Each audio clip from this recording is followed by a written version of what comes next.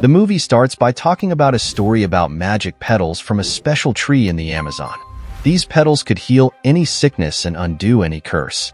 In the 16th century, Spanish soldiers, led by a man named Aguirre, went on a journey to find this tree. But they failed because the jungle was too powerful. According to the story, Aguirre was saved by local people, but instead of being thankful, he attacked them to get a special arrowhead. As punishment, he was left to live in the jungle forever. In 1916, a man named MacGregor tells a group of explorers that the legend of the Tears of the Moon is real and could help people with medicine. He asks for the arrowhead, which has been found recently. But the group says no, thinking it's a waste of time. While MacGregor keeps trying to convince them, his sister Lily sneaks into the archive room. She finds the crate with the arrowhead, which is the key to finding the tears of the moon. Prince Joachim, who also wants the arrowhead, finds out it's been stolen and sees Lily. He tells his friends to catch her. She tries to escape on a ladder and knocks everyone down. But Joachim hits the ladder, making Lily hang on the edge. Luckily, MacGregor sees her and stops a bus, so she can jump to safety. They escape with the arrowhead. A museum worker accidentally tells everyone who Joachim is. He gets mad and tries to hurt everyone. Lily and MacGregor get ready to go to the Amazon to find something called the Tears of the Moon. Now, the scene changes to South America. A boat driver named Frank is taking some rich people on a ride on the Amazon River. He tries to entertain them with simple tricks, but they're too scared to enjoy it. One person even offers him a lot of money to make the boat go faster. Lily and MacGregor arrive in South America to find someone named Nilo who can give them a boat for their trip. But it turns out that Frank owes Nilo money. So, Nilo takes Frank's boat engine until he pays up. Frank sneaks into Nilo's office to get his engine back. While MacGregor goes to a bar, Lily goes to Nilo's office and meets Frank, who pretends to be Nilo. She helps him get his boat key, and Frank tricks her into hiring him for their trip. But then MacGregor shows up with the real Nilo, and Lily doesn't trust Frank anymore. Just when Lily is about to leave, a wild jaguar shows up and starts scaring people in the bar. Frank decides to fight the jaguar and gets it out of the bar with some meat. Lily and MacGregor are impressed and decide to let Frank come with them on their trip, especially since he gets his boat engine back. He says that the jaguar named Proxima is Frank's pet. He purposely told Proxima to cause a scene at the bar while Frank and MacGregor are arguing about the bags. Lily gets taken by bird catchers hired by Joachim. Luckily, Lily can pick locks and freeze herself from the cage. Frank comes to help her, and they run to the boat as Joachim's men chase them. To keep it short, Lily, Frank, and MacGregor meet up again on La Quila and start their journey to the tree. They realize Lily got away from Joachim's men. The German appears from his submarine and shoots at them with a machine gun.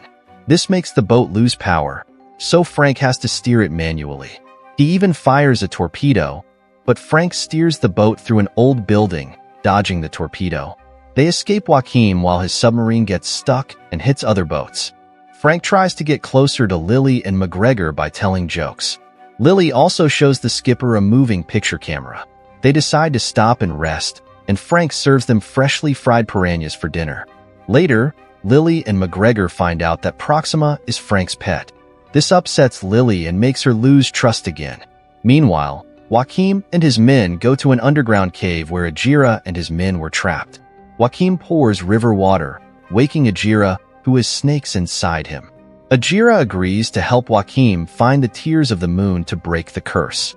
Joachim floods the cave with a detonator. In a deep cave with a river, Lily found a way to wake up the remaining conquistadors. They faced rough water, but Frank steered skillfully, avoiding a big waterfall. They stopped on land to rest and cut trees. MacGregor told Frank he was disowned by his family for being gay, but Lily always supported him. Lily snooped in Frank's room and found he loved cars and maps of the magic tree. When they got back, Lily accused Frank of wanting the moon tears, but he gave up long ago. They were knocked out and captured by locals who took them to a tribe. The chief, speaking Tupi, asked for the arrowhead. Lily refused and tried to escape, but it was a trap set by Frank. Lily was angry and punched him. She talked to Sam, who translated the arrowhead's writing, revealing the tree's location and that it blooms under a blood moon in two days. Suddenly, Aguirre and his men familiar to Frank, attack the tribe. The skipper and Lily try to run away using a rope, but they fail after a big fight. The conquistadors get the arrowhead, but Frank gets it back and throws it to Lily before getting stabbed by Aguirre's sword and falling into the water. Lily manages to escape and is told to stay away from the river because a curse stops the conquistadors from crossing it. They send a message to Joachim using bees. The next day, Lily is surprised to see Frank alive with the blade still in his chest. He tells her his real name is Francisco, and he's about 400 years old. Lily helps him pull the blade out. Frank and Lily keep going on their journey alone, while MacGregor stays with Sam since he's hurt. Frank tells Lily about his past. He and Najira were like brothers. Aguirre's daughter got sick, so he looked for the tears of the moon to cure her. Frank was a mapmaker, but nature beat them and Najira lost most of his men. The survivors didn't want to go back, and later, villagers healed them with the tree's petals. But Aguirre got impatient and made the chief give him the arrowhead. The leader said no because he didn't feel good enough, so Aguirre killed him.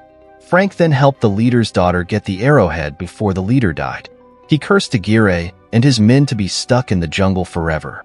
Aguirre was angry at Frank for betraying him. They kept fighting until Frank tricked Aguirre and his men into a cave, keeping them trapped for centuries. Frank built a town and became friends with nearby villagers. He said he was looking for something called the Tears of the Moon, so he could die peacefully in his submarine. The bees told the prince where Lily was, and he ordered his men to go there. The submarine reached Lily's location and found Sam and MacGregor. Joachim took Lily's brother with him, and the tribe leader swam away. He made MacGregor lead them to Lily. The boat reached a place called La Luna Rota, where the tears of the moon were. Lily had to overcome her fear of swimming to help Frank. After many tries, she managed to pull a lever that opened a chamber. But Joachim and MacGregor were waiting for them underwater. Joachim made them go into a passage, and Lily had to give him the arrowhead. He said he would use it to win a war. They arrived at the tree, and the prince told Lily and Frank to make the magic tree work. They find out that the arrowhead is shaped like a heart and eventually find a red gem hidden inside it under the blood moon. Lily puts the gem into the broken-hearted warrior figure, and the tree starts to bloom because only one of them will get a petal. Lily purposely shoots Frank, and they both head towards the petals. Immortal Frank goes back to the boat and defeats Joachim's men while Lily outsmarts and escapes from Yuno. She rushes towards the petals alone before time runs out and manages to get one. She gives it to Frank, and suddenly the conquistadors join the chaos. Najira attacks Joachim with snakes for betraying him, while Frank fights with the gear and his men on the boat. The skipper steers the boat towards a wall to block the river, trapping Najira, his men, and Frank. Joachim reappears, and MacGregor punches him, causing him to be killed by a falling pillar. The boat crashes into the wall, stopping the water flow and imprisoning Najira and his crew. Lily gives the pedal to Frank, but it doesn't work initially. Proxima roars, and the stone around Frank crumbles, bringing him back to life without immortality.